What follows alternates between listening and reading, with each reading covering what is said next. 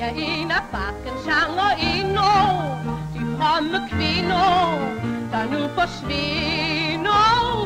Ach, nu er jeg mange, mange mile fra bakkens smile og Peralin.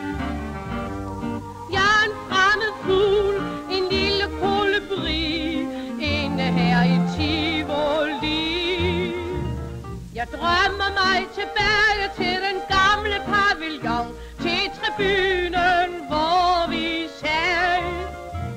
Vi sang de gamle viser, der var fandme ingen pardon. Vi blev ved til folk de græd. Så regnede det med janter på terrassen.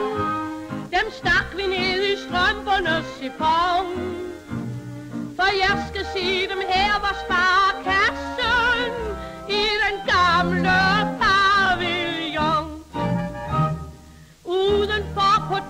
Dangletærs terrasser, der sidder masser af vores jo asser.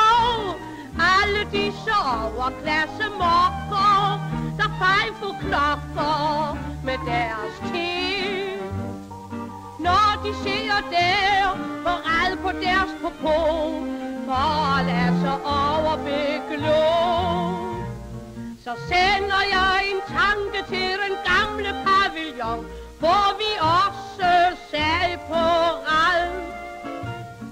viste bakkens mandfolk vores Paris og bagperron, og jeg ved sgu ikke hvad.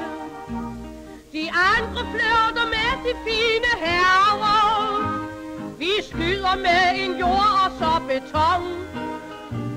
Men facit, det skulle ens i dangle terre og den gamle pavillon. Ingen aner, hvor jeg savner og hjortetakten og kakalakken, kilden, bøgen, anemonen og ølrationen, 50 om dagen. Sangene vi sang var ingen kryds og tværs. De fik børn i hvert et vers. De fine, noble sange i